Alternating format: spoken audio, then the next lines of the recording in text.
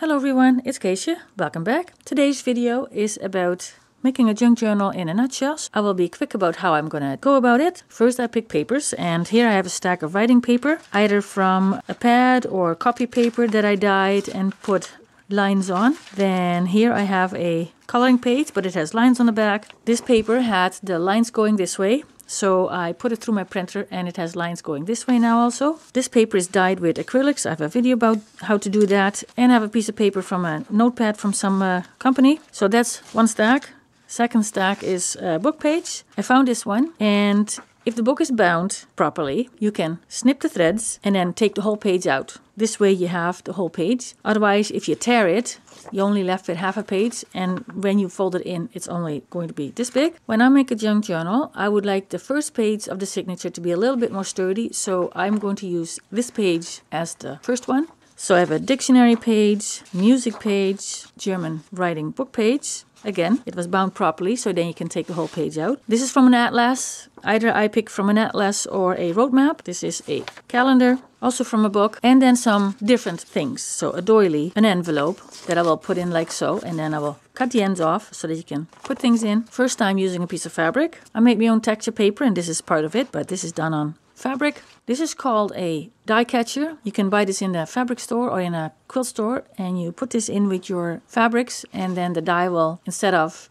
attaching to another piece of clothing or another piece of fabric, it will attach to a here. Don't ask me how it works, but that's what it is. This used to be a placemat. I picked this up when I was in the Netherlands and I cut a piece off because otherwise it doesn't fit in a book. I will leave this one piece. The fold will be somewhere and then the rest will be folded in. Construction paper. These two papers you recognize, they come in a package if you order something online. Piece of pattern paper. This is a piece of paper from my accidental journal where I scrape in all my leftover paints and sometimes they come out real nice so I'm going to include this one too and it has writing space on the back and a piece of wallpaper. I will put this in the right order and then I will go through it because I do want enough writing space for it. So for instance, uh, let me grab something. For instance, this is not a complete writing space paper. Well, you could write in the margins. On a page like this, I would add pockets either here or here so that you can put paper in it and then you can write on the paper so that the page is not lost. And I will balance it so that there's enough writing space versus other paper. The outside of my cover is usually made from fabric and this is an upholstery fabric. Then there's the core. It's a piece of cardstock that I painted on and it is not really nice so I'm gonna use it as a core. This is another piece of cardstock. I did some eco printing on paper and I really like them and I don't really want to use them so I put them through the scanner and I print them off on piece of cardstock.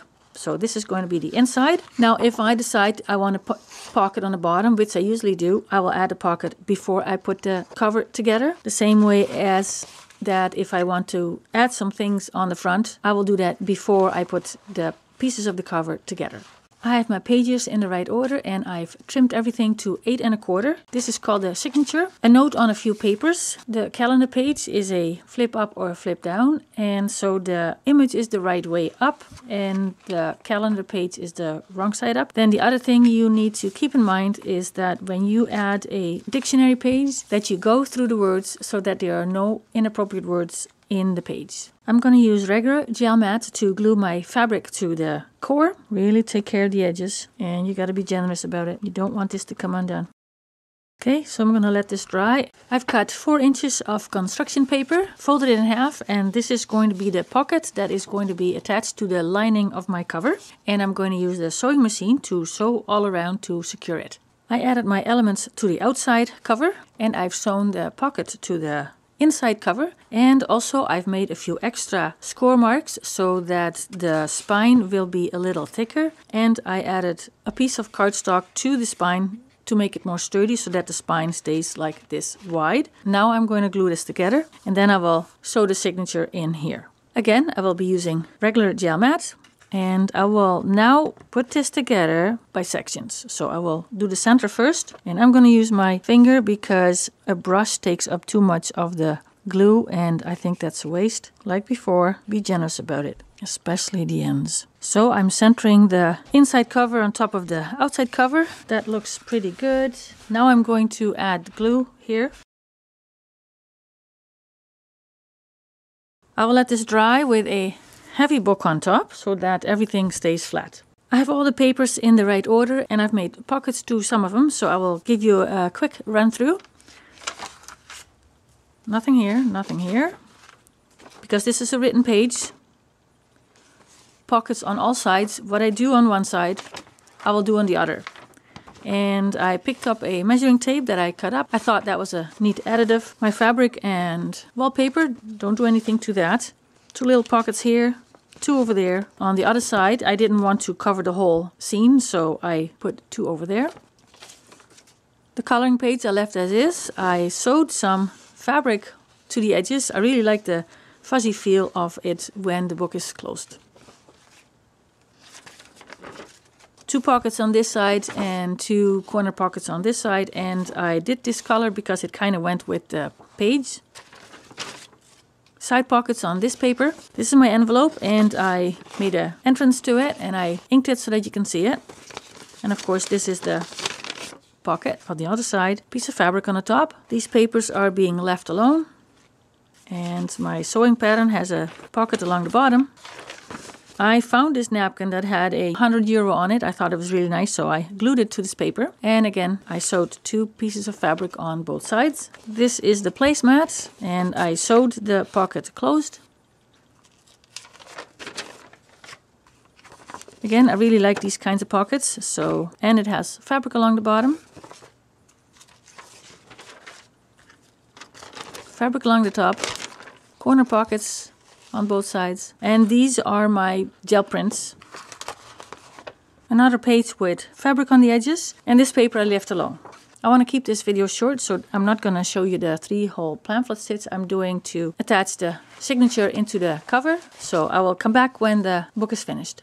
So my signature is bound in the cover. Then I added a piece of lace that was painted with acrylic paint so that it kind of hides the thread for the that the signature was bound into the journal. And this is a bit stiff, so now it opens up a little bit. But I'm gonna use this hair elastic to put around the book so that it stays closed. I added some metal to the corners of the book. I've also added some little booklets, cards or tags to some of the pockets just so that the recipient knows what to do with the book. And I'll give you a quick flip through